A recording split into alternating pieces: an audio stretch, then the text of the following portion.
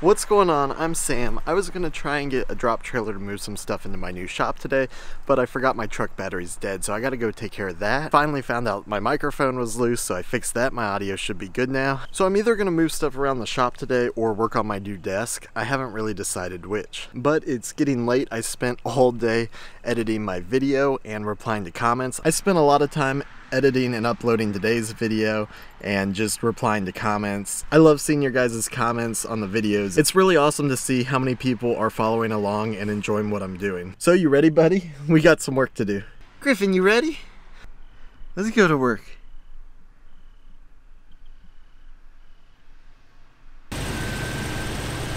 Truck is started. I got a handful of tools to change the battery and the jumper cables with me this time.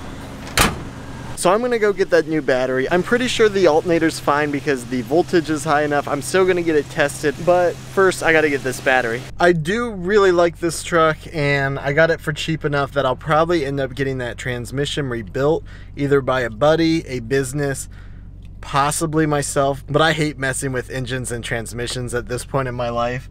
So I'm probably gonna have someone else do it. But even after paying someone to rebuild the transmission, I think I got it cheap enough that I could still make a profit if I decided to sell it. But I do want to keep this truck for myself because I do really like it. So Gryffin absolutely loves Rural King, so he's going to go with me to help pick out this battery for the truck. Okay, come on.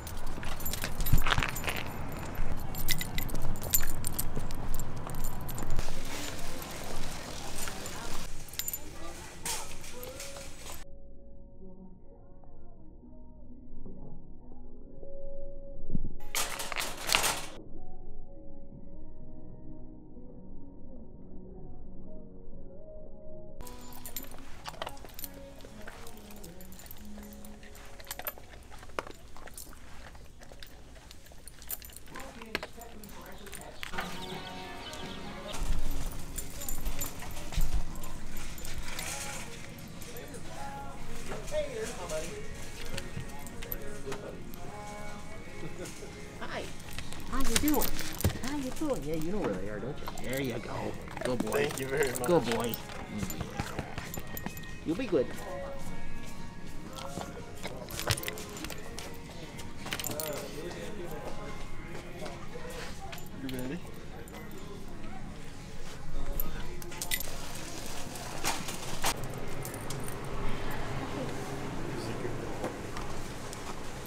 Just huh?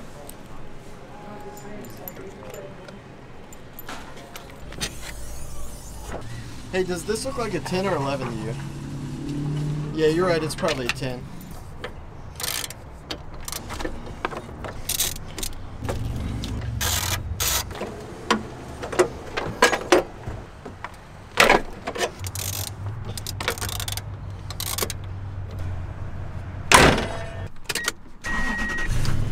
Perfect. So I got the alternator checked at O'Reilly's. Everything looks good on that. So now I got a new battery, good alternator. My truck should start every single time now. I also cleaned out the aquarium here. I got out all the duckweed. There had been a thick layer of duckweed for a while. So the plants that I replanted uh, a couple weeks ago weren't growing as good as they should have been the duckweed was taking up some of the nutrients and blocking the light. So these plants should start growing a whole lot better. I'll probably end up feeding the duckweed to my tilapia. And I also got a few plants from here to put into the tank at my shop but I didn't really take too many. I just took everything that had got unplanted and was just floating around. I'm probably gonna let these plants grow out a little bit more before I start stealing some for the shop tank. So with that, we will go to Lowe's. I think I'm gonna pick out the materials for the new desk I'm building, and then we'll head to the shop, my shop. So I went to Lowe's and picked out a whole bunch of straight pieces of wood, but after I got my cart full and I went to pick out stain, it started raining. I could hear it through the roof and I was pretty worried because I didn't want my brand new wood to get wet and warped. So I went up and asked if I could leave the cart full of wood overnight and pick it up in the morning. They told me I could if I paid for it. But then I couldn't find my cart, and it turns out one of the guys thought it was an abandoned cart and started restocking everything, so all my straight pieces of wood were gone. But that was really okay because, like I said, it was raining. So I'll just go pick out the wood again tomorrow. I did get this discounted gallon of stain while I was at Lowe's. I tested it to see if I'd like this color for my desktop, and I really do not. So I'm still looking for the color I want, and I need to get this desk built ASAP. After this, I went to my buddy's house with my Tundra, and we hooked it up to his Snap-on scanner. Check transmission here. Two sensor fault. I really wanted to know what was going on with the truck. I don't really know enough about transmissions to troubleshoot it on my own. So he looked at it and he's thinking that it's not slipping at all. It's actually just a misfire at a high RPM. He thinks that it seemed like it was slipping before because the torque converter was being disengaged because the engine sensed a misfire. So we drove it for a bit. He tried to figure out what was wrong with it. We stopped and one of the cats was red hot, which it's not supposed to do.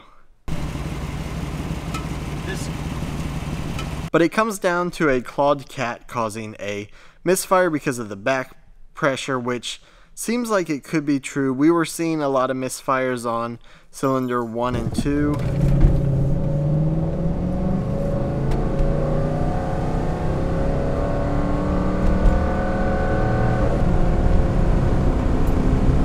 So now I just disconnected one of the O2 sensors before the cat on the side that was getting red hot and I'm going to test drive it and see if it's bogging down anymore. And now that there's a place for the pressure to get out before the cat, it might start running better and not seem like it's slipping at all. In that case, I'm going to have to replace the cat. But that's a lot better than having the transmission rebuilt. I stayed and chilled with him for a bit. We talked about plans. So now it's pretty late by the time I got here.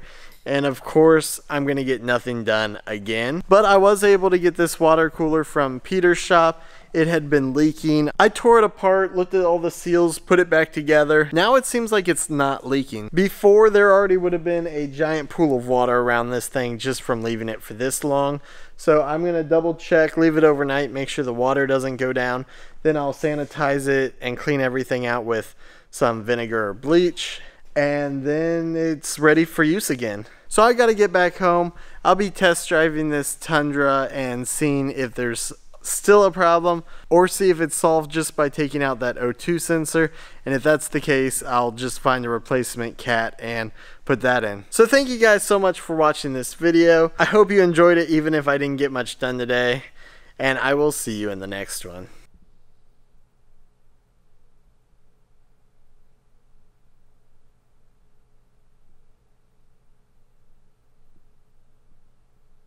Okay, let's go.